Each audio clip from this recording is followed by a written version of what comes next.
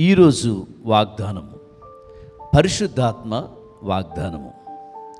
ప్రభునందు ప్రియులరా పరిశుద్ధ గ్రంథ బైబిల్లో నుంచి ద్వితీయోపదేశకాండం ఇరవై ఎనిమిదో అధ్యాయము మనం ఎనిమిదో వచనాన్ని చదువుకుందాం.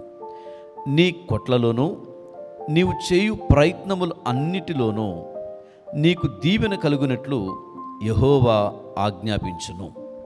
నీ దేవుడైన యహోవా నీకిచ్చుచున్న దేశములో ఆయన నిన్ను ఆశీర్వదించును. నా ప్రియ దేవుని బిడ్డలరా ఈరోజు దేవుడు మనకిచ్చే గొప్ప వాగ్దానం ఏంటంటే నీకు దీవెన కలుగునట్లు యహోవా ఆజ్ఞాపించును. ఈరోజు వాగ్దానము. బైబిల్ చెప్తుంది నా ప్రియ దేవుని బిడ్డలరా మోషే అనే ఒక గొప్ప దైవజనుడి చేత ఇస్రాయేల్ ప్రజలతో ఆ దినకాల సమయంలో ఒక గొప్ప దీవెనలు వాళ్ళకి ఎలా వస్తాయి? వాళ్ళకి ఎలా ప్రాప్తించబోతున్నాయని ఆ దినం మోషే నిలబెట్టుకుని దేవుడు మాట్లాడుతున్నాడు. ఈరోజు పరిశుద్ధాత్మ దేవుడు ఈ వాగ్దానము ఆ దినము ఇస్రాయిలుతో చేసిన మాటలు ఈరోజు ఈ వాగ్దానం నీతో నీ కుటుంబంతో నువ్వు చేసేవాడితో దేవుడు మాట్లాడుతున్నాడండి.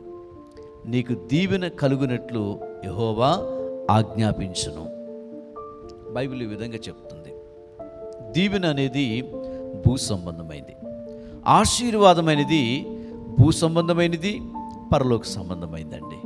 నా ప్రియ దేవుని బిడ్డారా ఈ ప్రజలకి దేవుడు అంటున్నాడు మీరు నా ఆజ్ఞలను నా కట్టడలను గైకుంటే నేను ఈ దీవెనలన్నీ మీ మీదకి వచ్చి ప్రాప్తిస్తాయి అన్నాడు నీ కొట్లలోనూ నీవు చేయు ప్రయత్నంలోనూ నీ దేవుడిని యహోవా నిన్ను ఆశీర్వదించను అన్నాడండి నా ప్రియ దేవుని బిడ్డరా అవును కదా?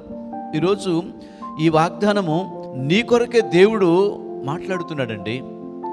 ఇంతకీ నా ప్రియ దేవుని బిడ్డరా ఒక ప్రాంతంలో ఒక ఫ్యామిలీ ఉన్నారు.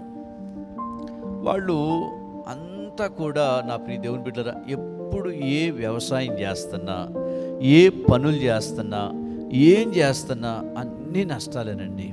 ఇక చివరికి ఎలాంటి పరిస్థితి వచ్చిందంటే ఏ మాత్రం కూడా ఒక బ్లెస్సింగ్ లేకుండా అయిపోయింది. ఇక చివరికి వాళ్ళు అనుకుంటున్నారు ఇక మనం ఏం చేసినా ప్రయోజనం లేదు. తినటానికి కూడా అంత కరువులో ఏం చేయగలం? చనిపోతే బాగుండేది అనే స్థాయికి వచ్చారండి.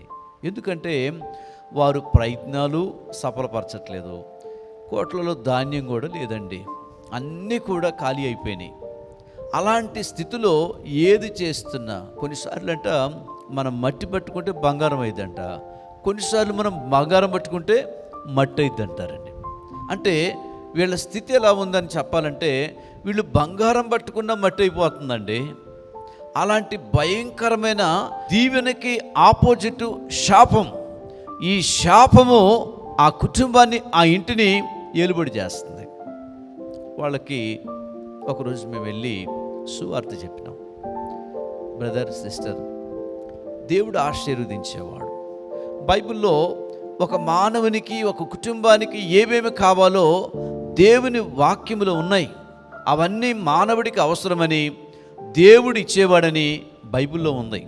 ఇక మనం ఈరోజు చదువుకున్న వాగ్దానంలో మీకు దీవెన కలుగునట్లు యహోవా సెలవీయట్లేదండి ఆజ్ఞాపిస్తున్నాడు అనే మాటను రాయబడ్డది. అంటే దేవుడు గట్టిగానే బలంగానే ఒక గొప్ప ఆజ్ఞపూర్వకంగా దేవుడు భూమికిని ఆకాశానికిని చేయు ప్రతి పనికి దేవుడు ఆజ్ఞాపిస్తున్నాడండి. ఇక ఆయన ఆజ్ఞకి భూమైన లోబడాల్సిందే ఆకాశమైన లోబడాల్సిందే ప్రతి మరుగైన దన్నిదైనా లోబడాల్సిందే అవన్నీ బయటకు రావాల్సిందే మరుగైన ధనము బయట రావాల్సిందే. నా ప్రియ దేవుని బిడ్డ వీళ్ళు ఇక ఆఖరికి ఏమనుకుంటున్నారు తెలుసండి? సూసైడ్ అయ్యటం వరకు వెళ్ళిపోయారండి. ఒకరోజు మేము వెళ్ళి చెప్పాం బాధపడకండి ప్రభుని నమ్మండి. మన జీవితాల్ని మార్చేది పరిస్థితులు మార్చేది ఏం చేస్తున్నా అవన్నీ శాపము ఏలుబడి చేసేంతకాలం ఇలా ఉంటుంది. బంగారం పట్టుకున్న మట్టి అయిపోతుందండి.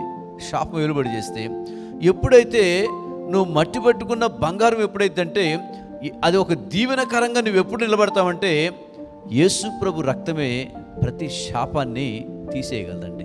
ఈరోజు దేవుడు మాట్లాడుతున్నాడు నీ ఇంట్లో నీ కుటుంబంలో ఒకవేళ నువ్వు ఉద్యోగం చేస్తున్నావా? అయిపోతుందా?